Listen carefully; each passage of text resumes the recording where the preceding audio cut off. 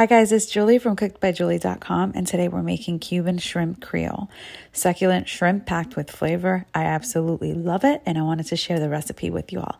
Let's get started. The first thing you want to do is add some oil to your skillet and heat that over medium high heat. Add the onions and peppers, cook it for 3 to 4 minutes or until translucent. Once the onions and peppers are translucent, go ahead and stir in the fresh garlic. Make sure to add a generous amount.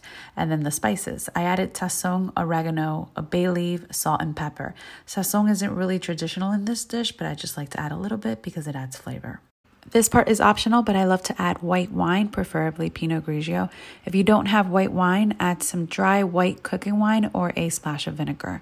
Let the wine reduce by half. It should take about a minute and then add the tomato sauce and water.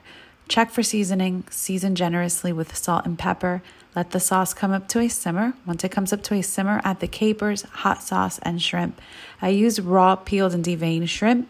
Feel free to leave the tails on. I always recommend leaving the tails on. It makes the shrimp appear larger, and also a lot of the garlic and spices like to sneak in the tail. So much flavor. But for some reason, I felt like removing the tails off for this recipe. All right, once you add the shrimp, go ahead and cover it and let it cook for two minutes or until the shrimp turn pink. Garnish with fresh cilantro, serve with white rice, and that's pretty much it.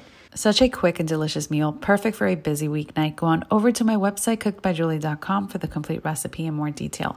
Make this recipe, let me know if you do, and I want to thank you guys so much for watching.